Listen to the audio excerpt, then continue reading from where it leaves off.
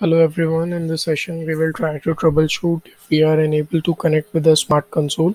So first we need to log in with the VMware to the management server as well as to the gateway. So you can see I have logged in into the management server.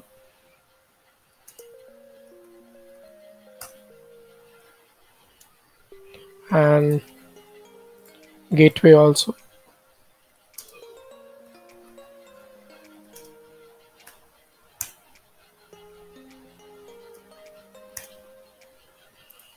Now I will try to open smart console and try to access the smart console.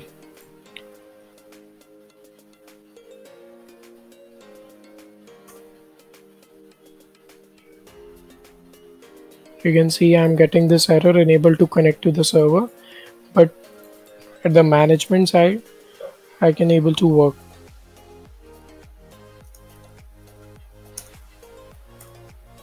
Can see IPv4 and it's configured and the link state is up. So that means there is some different issue. So we will try to access the command line with the putty session. So just click on load and open. Enter the same user id and password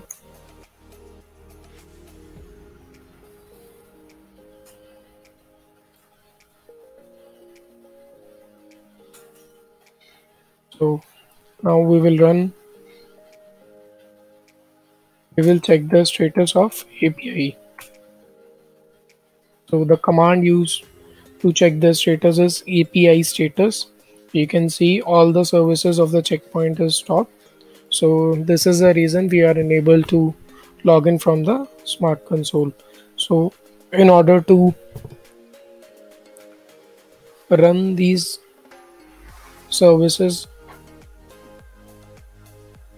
we have command API start. So this will start all the services which is used to run the checkpoint. So it, it takes some time. It's depending on the machine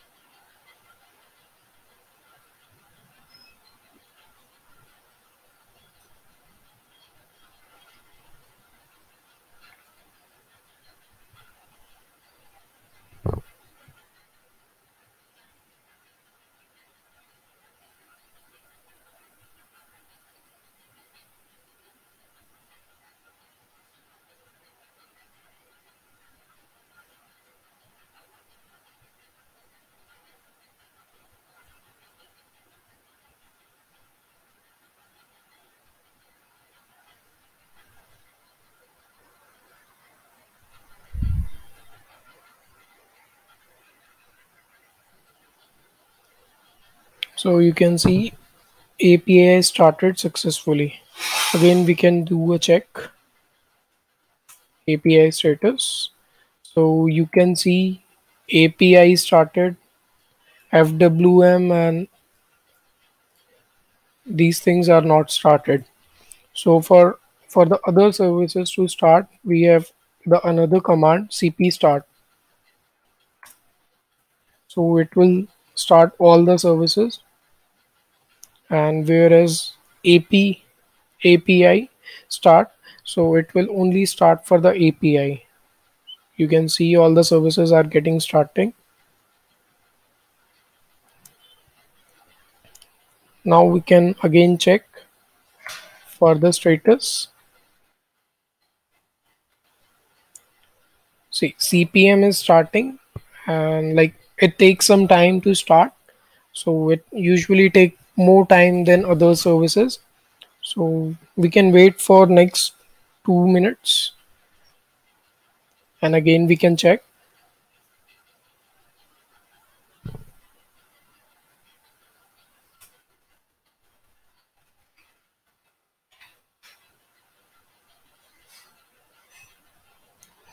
So now we can try to log in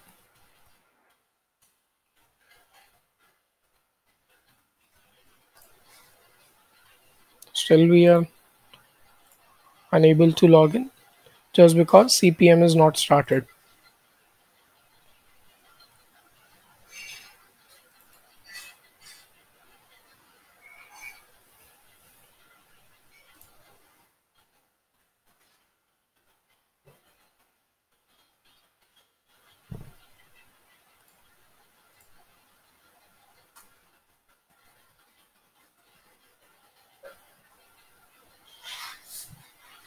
CPM usually take more time to start.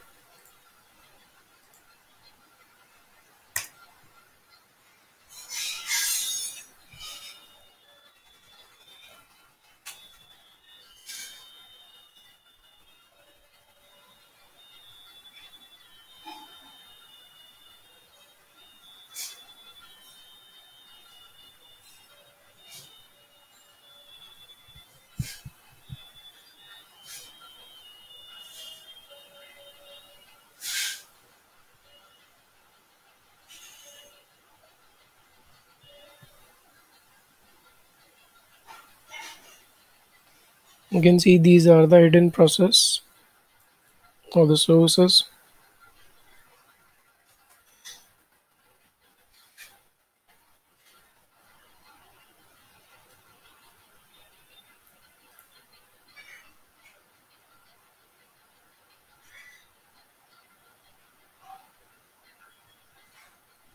You can see overall API status waiting for CPM to start. So let's wait for two, three more minutes. And then we can try to log in the smart console. We will able to log in.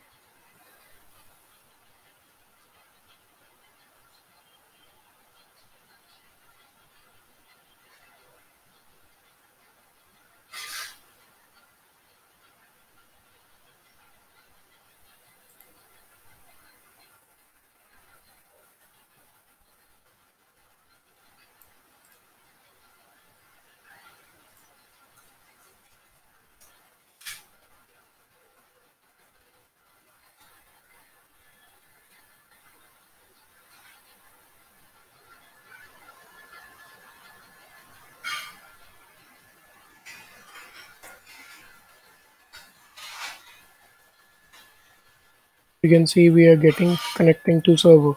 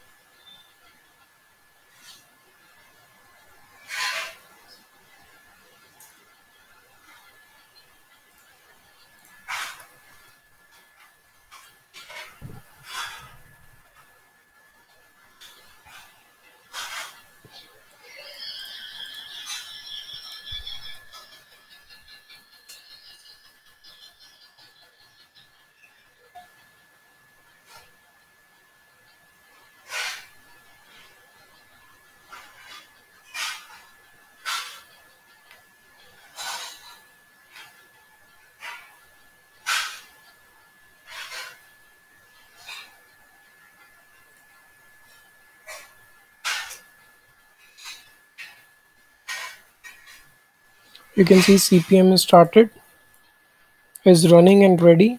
So now we can see the smart console is initializing the services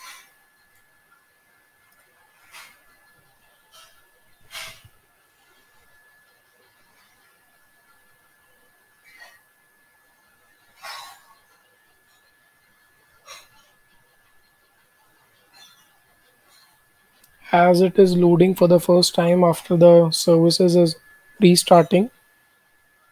So it, it is taking some time.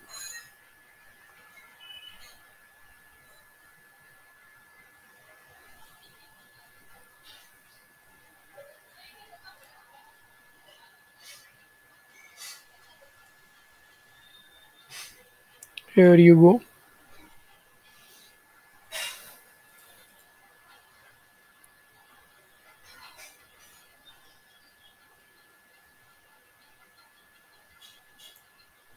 you can see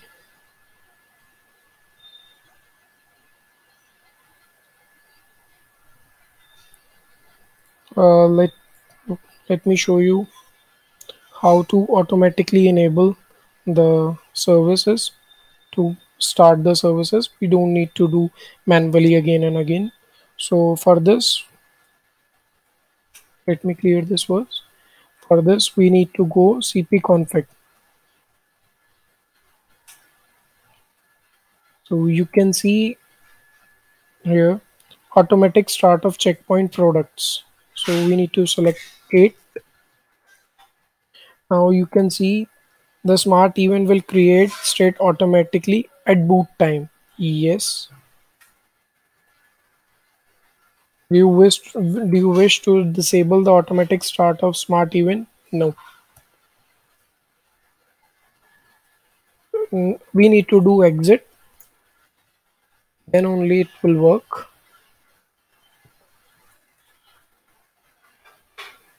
That's all in this video. See you in next video